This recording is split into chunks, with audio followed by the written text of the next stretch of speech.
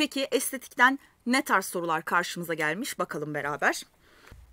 Ege'deki bir koyu, tasarladığı otele uygun olduğu için güzel bulan bir mimar ya da incelemek istediği canlıları barındırdığı için beğenen bir biyolog estetik bir tavır içinde değildir.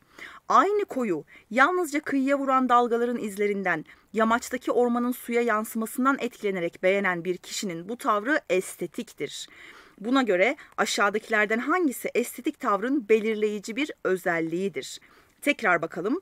Bir biyolog Koyu beğenmiş. Neden beğenmiş? Çünkü incelemek istediği canlıları barındırıyormuş. Mimar da beğenmiş. Neden beğenmiş? Tasarladığı otele uygunmuş.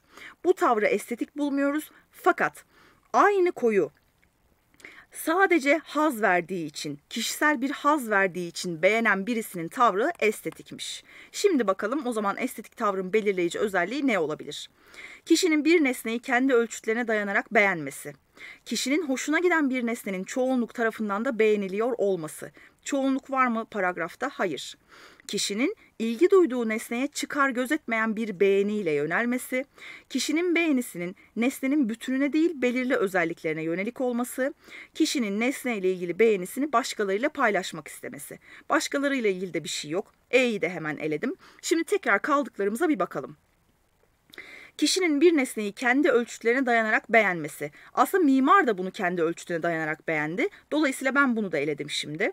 Kişinin ilgi duyduğu nesneye çıkar, gözetmeyen bir beğeniyle yönelmesi. Evet, biyolog neden çıkar gözetti? Çünkü bir incelemek istediği bir kısım var ve o kısım için koyu güzel buldu. Mimar aynı şekilde bir otel tasarlayacak ona uygun olduğu için güzel buldu. Ama estetik tavır gösteren adam sadece hoşlandı. Hiçbir çıkar gözetmedi. Bu yüzden estetik bulduk onun tavrını. Dolayısıyla cevabımız C seçeneği.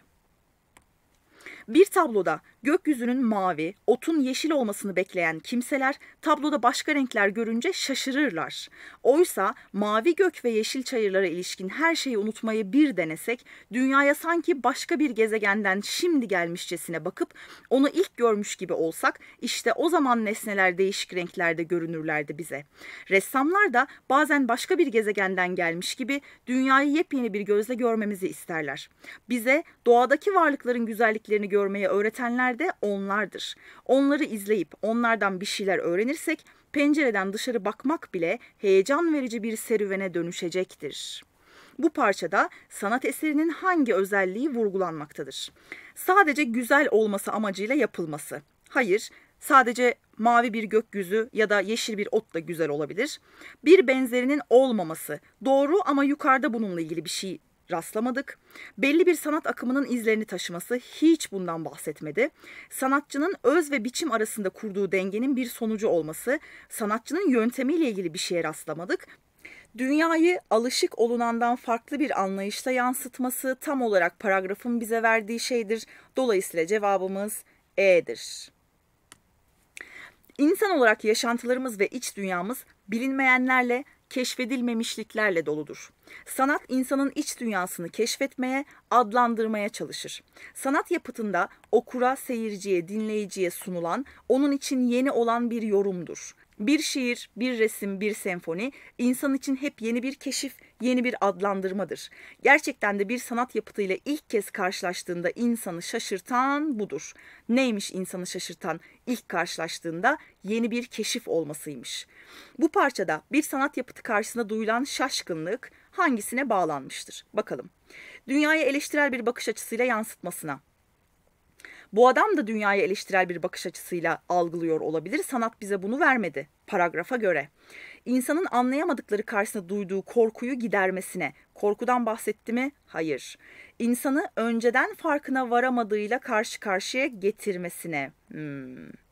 İnsana hoş duygular yaşatmasına, hoş duygular yaşatır ama burada söyledi mi? Hayır. Başka sanat yapıtlarında ele alınmamış bir konuyu işlemesine, başka sanat yapıtlarıyla ilgili herhangi bir bilgimiz yok. Dolayısıyla bunu da eledim. Kaldı bana insanı önceden farkına varamadığıyla karşı karşıya getirmesine. Bu yüzden zaten şaşkınlık yaşıyoruz sanat yapıtıyla karşılaştığımız zaman. Dolayısıyla cevabımız C seçeneği. Evet, son soruya bakalım.